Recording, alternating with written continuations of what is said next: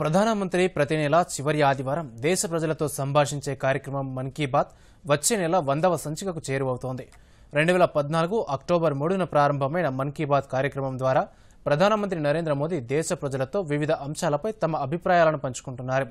వర్తమాన విషయాలు వెలుగులోకి రాని పలువురు విశిష్ట వ్యక్తులు ప్రజా సమస్యలు ప్రజలు ముఖ్యంగా యువతీ యువకుల ప్రతిభా పాఠవాల గురించి ప్రధానమంత్రి మన్ కీ బాత్ కార్యక్రమంలో ప్రస్తావిస్తున్నారు.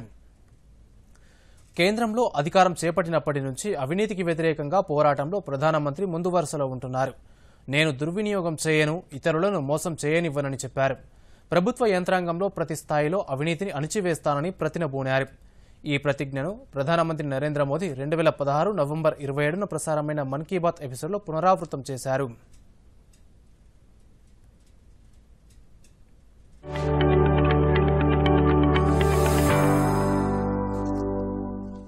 अभी भी कुछ लोगों को लगता है कि ये भ्रष्टाचार के पैसे, ये काले धन, ये बेहिसाबी पैसे, ये बेनामी पैसे, कोई न कोई रास्ता खोज करके व्यवस्था में फिर से ला दूँ।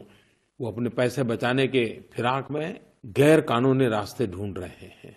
दुख की बात यह है कि इसमें भी उन्होंने गरीबों का उपयोग करने का रास्ता चुनने का पसंद किया है।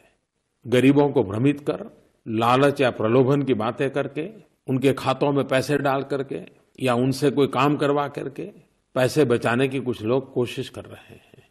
मैं ऐसे लोगों से आज कहना चाहता हूँ, सुधरना, न सुधरना, आपकी मर्ज़ी। कानून का पालन करना, न करना, आपकी मर्ज़ी, वो कानून देखेगा क्या करना। लेकिन मेहरबानी करके आप गरीबों की ज़िंदगी के साथ मत खेलिए।